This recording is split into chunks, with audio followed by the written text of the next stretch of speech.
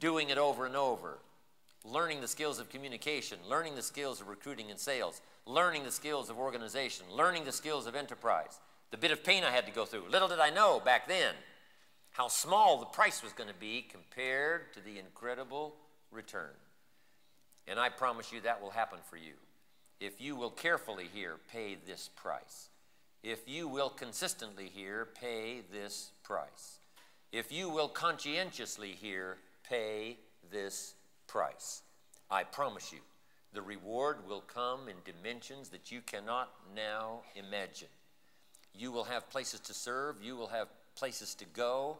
You will have people coming back to you as the years unfold saying, You've touched my life, you've touched my health, you've touched my family, you've touched my future, along with your bank account that grows. That's not the most important thing to grow. Here's the most important thing to grow self esteem, self worth, self judgment that says, I paid the price, the return is mine, it tastes sweet, and it's not just the money in the bank, it's not what you can count in terms of coin. It's what you can count in terms of heart. It's what you can count in terms of soul. It's what you can count in terms of friendship. It's what you can count in terms of relationship.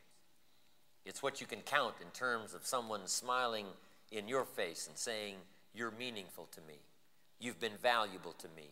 When you add all of that up, it's beyond rubies, it's beyond diamonds, it's beyond millions, it's beyond treasures uh, hidden away in, in the earth. It's, it's beyond all other value, this kind of value that's shared among human beings. That's why I'm here, right?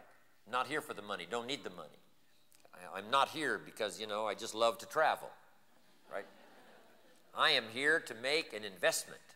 And the drama of payoff for me, especially the last 25 years, has been so extraordinary that to have a chance one more time to come here and make a deposit of my experience, I wouldn't have missed the opportunity. I wouldn't have missed it. Whatever I had to do to get here. Fly all night, fly all day. You know, take care of whatever tasks need to be taken care of. Right? When I finally discovered this morning my suit need ironing, guess who ironed it? Guess who pressed it? I did. Pressed my own suit. Pressed my own shirt. I thought sure they'd be okay, but I didn't check till this morning. You're supposed to check the night before, and I was a little late. So, sure enough, this morning, before the proceedings were underway, I'm up there with the ironing board. You should see me. I'm a sight to see. I am not good at it. In fact, it probably shows. I appreciate that. But guess what? I gladly do all that to have a chance to come here and invest one more time, share my experiences one more time, enjoy the success already achieved here one more time, but also to see if we can't labor faithfully with our minds and with our attention and see if we can't grasp a bit more of life, the essence, the opportunity, the chance, and see if we can't blend that with our ability, our eagerness, our willingness to commit and be faithful to a cause and see what it'll do for ourselves and our family and the people we care most about, make a contribution to the country, and who knows, eventually to the world. I wouldn't have missed that chance. Why I'm here, and I know that's why you're here, and we're going to carry on. For some of you that are uh, here for the first time, I should probably just briefly tell my story. I grew up in Idaho, farm country. Uh, my father still lives there on the old homestead. He just turned 92 a few months ago. And I was on the other side of the world, but when I got back home, uh, just a little while back, he was so proud to show me he got his driver's license renewed for four years. Till he's 96. So he's excited about that. Anyway, I went to high school, this little farm community, southwest Idaho. Our farm overlooks the Snake River. Neat place to grow up. I was born in Yakima, Washington. But um, my parents moved to Idaho when I was one year old, so I grew up there. And I went to high school, graduated, went to college one year. Halfway through my second year, I decided I was smart enough and quit. Big mistake on my part, but I made it. Thinking I'm smart enough to get a job, and at the time I thought, you know, if you're smart enough to get a job, how much smarter do you need to be? So, with that bit of shallow thinking, I quit school, went to work. A little while later, with some fancy promises, got a young lady to marry me. Fortunately for me, she said yes. We started a family, and uh, I'm out there working as hard as I can, but falling a little bit behind every year. Probably normal, living the normal average American young couple's life. But I'd made these big promises and uh, I was working hard and trying to make it fit. But by the time I reached age 25, I got pennies in my pocket, nothing in the bank. Creditors now calling once in a while, saying, You told us the check was in the mail. I'm getting embarrassed by all that. And uh, really embarrassed about being behind on my big mouth promises to my family, wondering what should I do? Where could I go from here? And then good fortune came my way difficult to describe sometimes how something remarkable happens at a particular time. But my good fortune was I had a chance to meet a rich man. Not just rich in money and wealth, but rich in ideas and rich in experience, as I found out later. A friend of mine went to work for him, and he said, You got to meet this man.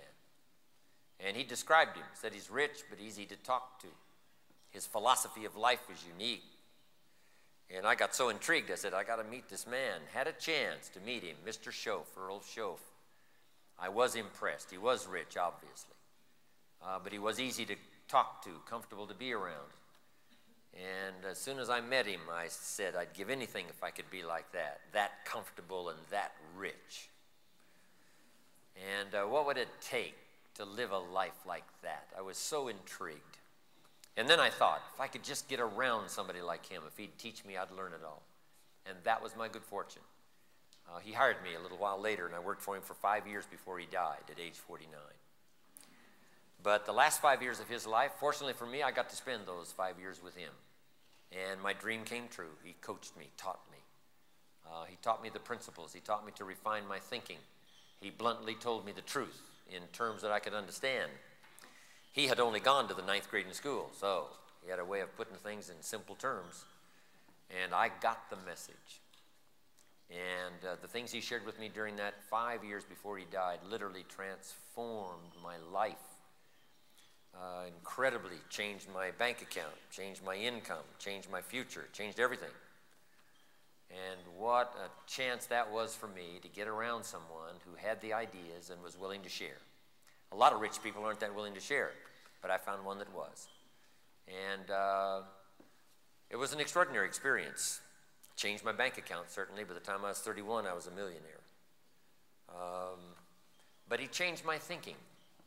Uh, a lot of the things I speak about today, the origin, uh, the, the origin of those thoughts came from that five-year experience. I've expanded on it. My own experience has taught me. And I've had other mentors along the way that have added to my life given me things to ponder and wonder about. And they have coached me and taught me along the way. But this was the beginning. Now, my parents laid a great foundation. I was an only child. You know, they spoiled me, and, but they also taught me, laid a good foundation that served me as an anchor all these years. But Mr. Shoaff opened up the world and let me know that I could become anything I wanted to become. My income could change, my health could change, my relationships could change. Uh,